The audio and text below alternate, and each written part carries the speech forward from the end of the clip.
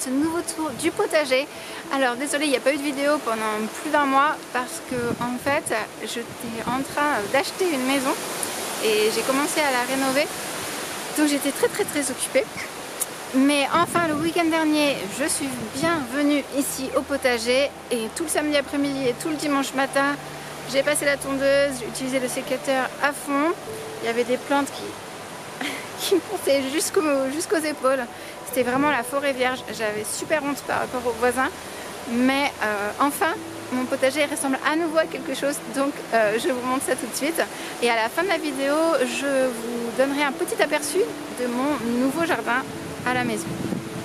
Comme vous voyez, euh, là j'ai oublié de couper une des plantes. Et voyez comme c'était grand. Et alors en plus c'est plein de graines. Là celle-là il va vraiment falloir que je l'enlève. Il y en avait plein des comme ça et ça c'est impossible à arracher. C'est vraiment trop difficile, ça une racine pivotante hyper profonde. Donc euh, il faut couper. Bon alors en avril on n'a pas eu une seule goutte d'eau mais en mai il fait que pleuvoir. Donc euh, au moins mon réservoir s'est rempli et j'ai pas eu du tout besoin d'arroser ce mois-ci. Donc ça c'est bien sympa. Euh, qu'est-ce que je peux vous montrer d'autre en haut? Bah écoutez, pas grand chose. J'ai beaucoup coupé en fait, j'ai pas repréparé de zone de culture vu que ça va se passer euh, maintenant plutôt à la maison. Euh, mais du coup, j'ai refait des. J'ai remis des, ardoises, euh, des tuiles, pardon, sur les zones qui sont bien cultivées et les autres ardoises, eh bien, je vais tout remonter ici. D'ailleurs, Sonny, elle adore grimper sur ce petit mur. Hein, Sonny Elle adore grimper partout. Hier, elle était sur les bottes de foin là-bas. Je vais vous montrer mes déboires. Comme je ne me suis pas occupée du potager, la nature a totalement repris ses droits. C'est couvert de pucerons ici. Oh oh oh oh. Ouais, c'est couvert de pucerons et quand j'ai enlevé les tuiles à ce niveau-ci, j'ai trouvé des fourmilières. J'ai trouvé deux fourmilières absolument énormes. Et euh, et donc bah, je pense que la majorité d'entre vous euh, connaissent la relation entre les fourmis et les pucerons.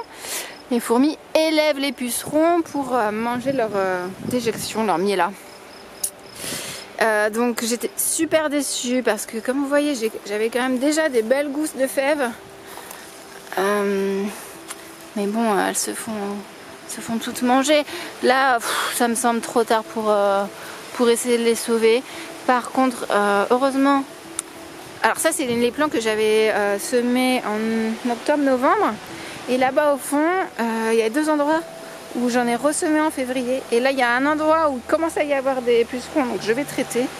Euh, il n'est pas trop tard pour cela, mais pour ceux-ci, je les ai pas coupés parce que je voulais vous montrer, mais ça, me semble, trop tard. En espérant que peut-être ceux-ci vont mourir avant de se faire coloniser, que peut-être je pourrai les grignoter. La blette aussi est complètement couverte. Alors ça, c'est pas trop grave parce que j'en mange pas vraiment. Alors, on continue la petite visite. bien ici, euh, on a des oignons, euh, des échalotes. Ah, il reste une betterave que j'ai fait oublier d'enlever. Donc euh, tout ça c'est pas encore prêt mais ça ne saurait trop tarder. Là on a de l'ail qui est aussi en bonne voie. Là, les fraisiers qu'on m'a offert, il n'y a que la moitié qui a vraiment pris, mais j'ai pu commencer à manger des fraises. J'en ai mangé deux ce week-end. Et là, regardez, il y en a d'autres qui se préparent. Donc ça, c'est bien sympa. Et elles sont délicieuses. Les jolies fleurs du voisin. Regardez le voisin et ses petits pois. Je suis admirative quand même. Il a fait du, du travail de pro. Hein. Waouh. Oh, Sonny Il faut s'exprimer. Alors ici, on a quelques rutabagas qui poussent pas trop mal. Encore, hmm, ça je crois que c'est de l'ail. J'avais mis beaucoup d'ail. Ah oui, ici je vous ai pas parlé euh, du seigle et de la veste. Donc ça c'est l'engrais vert qu'il faut que je coupe pour incorporer à la terre. Même si moi je vais pas la recultiver cette terre, eh ben, pour le prochain, euh, ce sera bien. Et ça a bien bien poussé, hein, comme vous voyez. Euh, là ici c'est même, euh, c'est même plus haut que moi. Je sais pas si c'est très bien cadré. Alors, le romarin, eh bien, il y a des chenilles dedans. Mais vous montrer ça. Regardez, il y a la mousse et puis si vous prenez comme ça dans la mousse, vous voyez la petite... Euh, mais bon, euh, normalement ça devrait pas leur euh, porter trop atteinte. En tout cas, ils supportent bien le romarin pour l'instant. Donc là, l'oseille. Encore un peu d'oseille ici. Ah, j'avais une jolie lavande que je voulais vous montrer. Même si tout à l'heure, en voulant emporter du foin, j'ai fait tomber une botte dessus et je l'ai un petit peu abîmée. Euh, elle est quand même belle, hein. vraiment deux fois plus grosse que quand je l'ai achetée euh, l'année dernière. Je suis bien contente. Et, euh, ça, ça se bouture, donc je compte en mettre plein dans mon nouveau potager. Donc là, encore de l'engrais vert dont il faut que je m'occupe.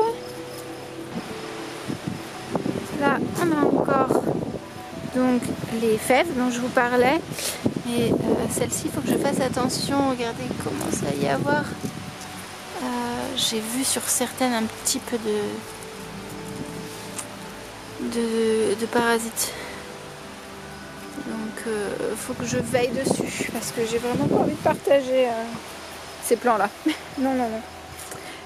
Les petits pois, ben, je suis super déçue parce qu'il devait y avoir euh, quatre endroits de petits pois, de, des grillages. J'avais mis deux grillages là. Et en fait, euh, ça n'a pas pris. Ça a pris que ici.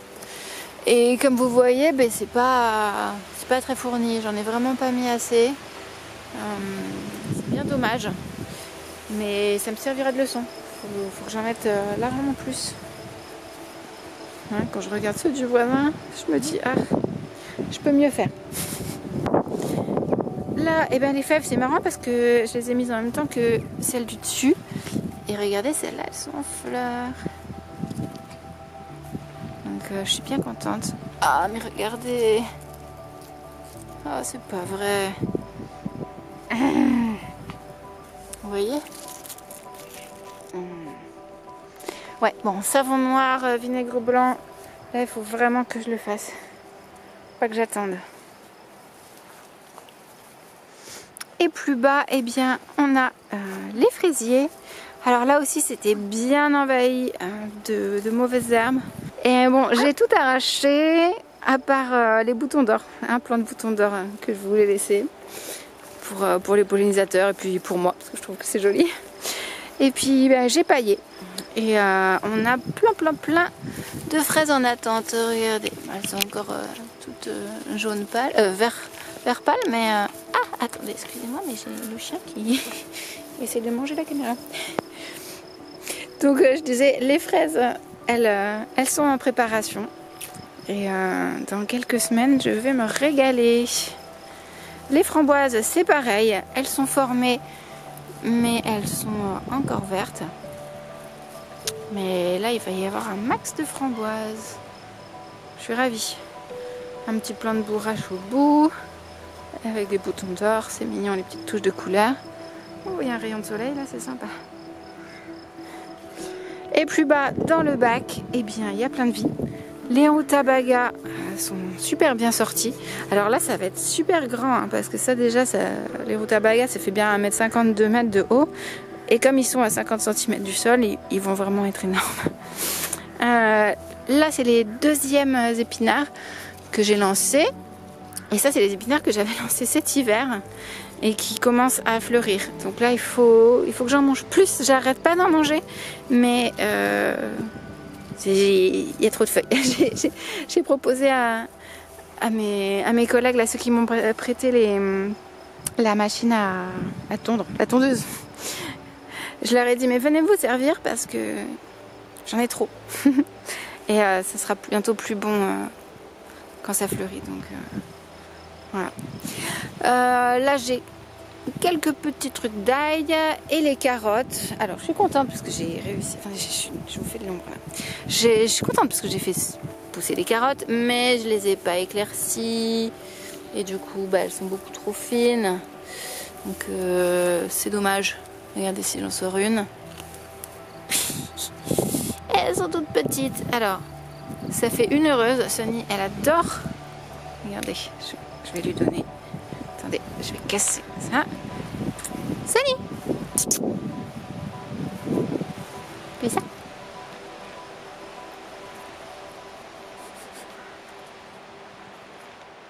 Voilà, là ça va être son jouet, euh, on va plus le lâcher. Ouais, la carotte. Trop bien. Mais elle la mange pas vraiment, mais elle la mâchonne et je sais pas, ça lui plaît. Donc vraiment, le bac de culture, euh, c'est génial. Je je sais pas ce que je vais en faire. J'aimerais bien l'emporter. Il euh, faudrait que je le démonte. Il euh, faudrait que je le démonte. Et puis ça m'avait... C'était long à le remplir. Donc je sais pas. Mais... Et puis c'est agréable que ce soit en hauteur. On n'est pas obligé de se mettre accroupi ni de se pencher trop. À voir. Regardez un petit bourdon. Le temps de faire la mise au point. Dommage. Alors ici, qu'est-ce qu'on a? Des groseilles qui commencent à rosir, regardez. Donc euh, je vais avoir un max de groseilles, ça va être bien sympa. Ces deux plants là, ils sont vraiment beaux. Par contre, le cassissier, euh, il est à moitié mort. C'est trop bizarre. toute cette moitié là qui a pas pris. Et euh, bon, je vais avoir quelques petits cassis, mais pas grand chose. La rhubarbe, eh bien, j'en ai récolté un vendredi soir et j'en ai fait de la confiture samedi matin. C'est pour ça que là, elle est dans cet état, mais euh, je vais vous montrer une photo d'avant. Elle était vraiment énorme et magnifique. Et un peu plus bas, eh bien, j'ai un autre plant de, de groseilles ici. Enfin, j'ai deux plants de groseilles, mais ils sont envahis par euh, ces herbes-là là, qui, collent. il faut que je les enlève. Il faut que je les enlève. Voilà pour euh, le tour du potager euh, ici. Et euh, demain, je vais vous filmer la serre dans vos jardins. Mais pour vous, c'est tout de suite. Et voilà, on est dans la serre. Avant de vous montrer ce que j'ai planté, je vais vous montrer comment c'était avant et ce qu'ont fait mon oncle et ma tante Claire et André quand ils sont venus. c'était il y a deux ou trois semaines. Et donc comme vous voyez, c'était rempli d'herbes folles. C'était vraiment euh, le bazar. Et ils ont super bien travaillé. Ça va? Elle a bien bossé, regardez ça. J'ai jamais vu du persil aussi grand.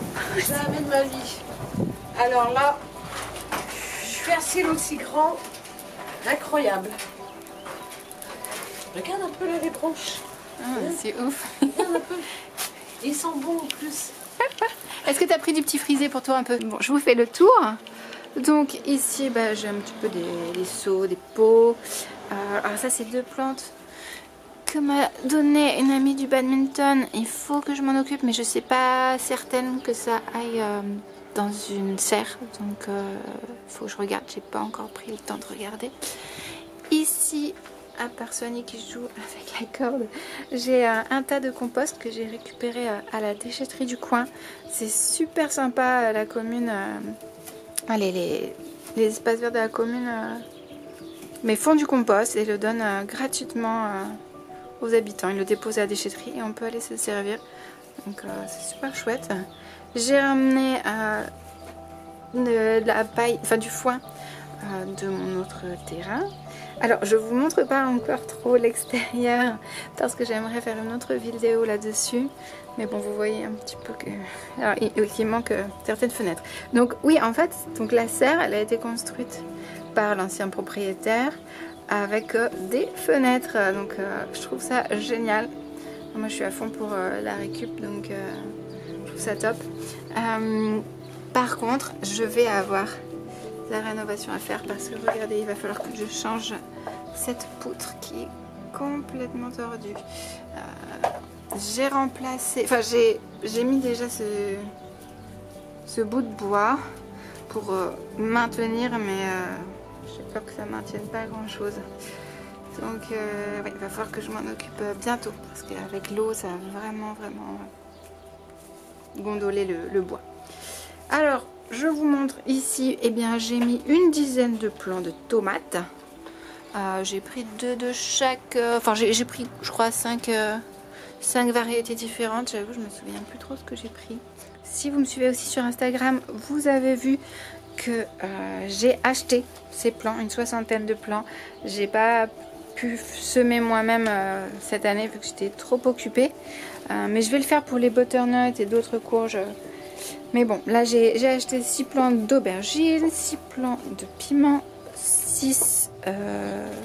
Non, ça c'est des poivrons. Et là c'est des piments de cayenne. 3 plants de patates douces. Et là au niveau des courges, ben, on a 6 courgettes vertes, 6 courgettes jaunes, des melons craquelés, des melons lisses. Et euh, là-bas, les 6, c'est des blancs, là, je sais plus comment ça s'appelle. Euh, je vais retrouver le nom, et puis je le, noterai. Donc euh, voilà, il va falloir que je nettoie les vitres pour que le soleil puisse vraiment bien passer. mais je suis super contente d'avoir cette serre, c'est vraiment génial. Vraiment, vraiment génial. Et donc comme je vous disais, eh ben, je vais vous faire une autre vidéo très bientôt, peut-être même dès la semaine prochaine, plus réalistiquement dans deux semaines, où je vous montrerai tous les extérieurs, tout le jardin, parce qu'il y a 2500 mètres carrés. Euh, c'est surtout une sorte de champ, mais je vous montrerai un peu ce que j'ai prévu et puis ce qu'il y a sur le terrain. J'espère que ça vous plaira de découvrir le projet. quant au précédent potager, en fait je le garde jusqu'en mars l'année prochaine, parce que j'ai payé pour un an. Mais euh, je déménage donc euh, début juillet à 30 minutes de là où j'habitais avant. Donc euh, je vais pas garder le, potager. je vais récolter là les fraises et les framboises cette année, mais ça n'a pas trop de sens de garder le potager plus longtemps, vu que ici je vais avoir un beau beau terrain de jeu, c'est pas, trop grave. C'est sûr que c'est un petit peu un peu décevant parce que j'avais pas mal investi euh, de temps et d'efforts euh, là-dedans, faisant des belles allées en, tuiles et tout ça, mais euh, c'est aussi super excitant de commencer une nouvelle aventure et sur un nouveau terrain. Donc voilà, j'espère que ça va vous plaire. En tout cas, je suis super motivée. Donc je vous dis à très bientôt pour vous montrer tout ça. Bye